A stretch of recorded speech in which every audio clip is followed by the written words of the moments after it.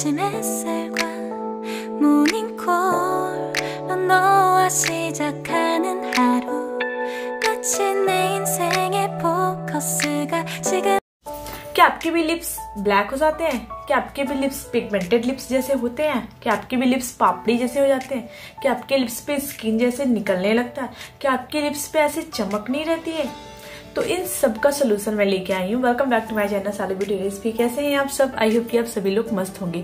तो आज का वीडियो स्पेशली लिप्स के लिए है। बहुत सारे कमेंट्स मुझे आया था कि आप अपने लिप्स का केयर कैसे करते हो? तो आज मैं विदाउट मेरे लिप्स पे आज बाम भी नहीं लगाया है लिप बाम भी, क्योंकि आप लोगों के सामने मुझे रियल लिप्स वैसे दिखाना था। ये देख सकते हो। इसका ध्यान रख सकते हो। वो मैं आज आप लोगों के साथ आज मैं शेयर करूँगी। तो गाइस लिप्स के लिए ना कुछ भी नहीं करना है। आपको क्या करना है कि एक चुकंदर लेना है, उसको अच्छे से पील ऑफ़ करना है। पील ऑफ़ करने के बाद उसको ग्रेट करना है। ग्रेट करने के बाद उसमें से जूस निकालना है। जूस निकालने के बाद आपको एक बाउल लेना है। एम्प्टी बाउल उसमें आधा से एक चम्मच आपको लेना है चावल का आटा राइस फ्लोर और उसमें ऐड करना है हनी एक चम्मच। और फिर उसमें ऐड कर लेना है आपको चुकंदर का जूस बीटरूट जूस ये बहुत अच्छा होता है। और इसे मिक्स कर लेना है और फिर लिप्स पे स्क्रब करना है।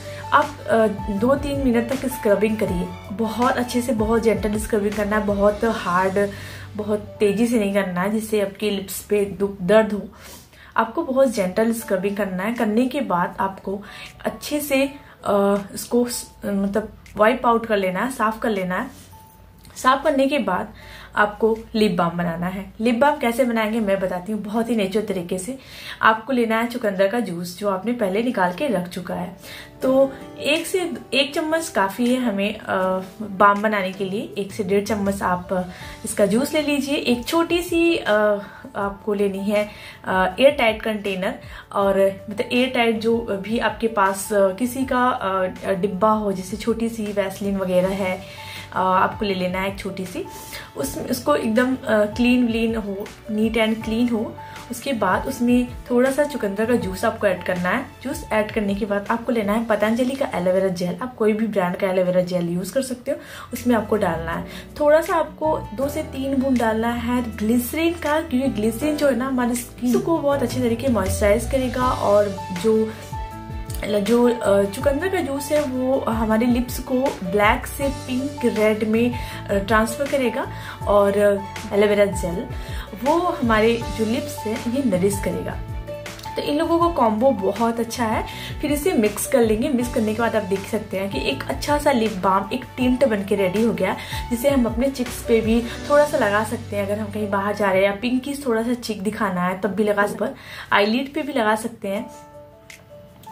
तो आप देख सकते हो कि एक अच्छा सा लिप बाम बन के रेडी हो गया इसे हम टिंट भी बोल सकते हैं, जो कि मार्केट में इस समय बहुत तेज़ी से मिल रहे हैं। तो आप इस तरीके से लिप्स पे लगाएँगे तो लिप्स बहुत खूबसूरत, बहुत अच्छे हो जाएँगे। आपके लिप्स पे कोई केमिकल नहीं लगेगा और कोई ऐसी चीज़ नहीं लगेगी जिससे आपकी लिप्स खराब हो। इस तरीके से मैं अपने लिप्स का केयर करती हूँ। आप टिंट के जैसे यूज़ कर सकते हो, अपने चिप पे हल्के हल्के यहाँ लगा सकते हो। आप अपने आईज आई लिड पे लगा सकते हो। इससे क्या है ना कि आपकी जो जो बहुत नेचुरल सा लगेगा, बहुत अच्छा लगेगा।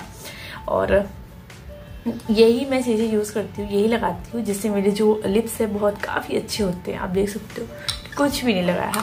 उसके बाद ना आप अपने लिप्स पे वैसलिन वगैरह हमेशा अप्लाई करते रहो, या देसी घी हो गया, बहुत अच्छा होता है। वीडियो पसंद आए तो लाइक करिएगा शेयर करिएगा सब्सक्राइब करिएगा। मिलते हैं नेक्स्ट वीडियो में, तब तक के लिए बाय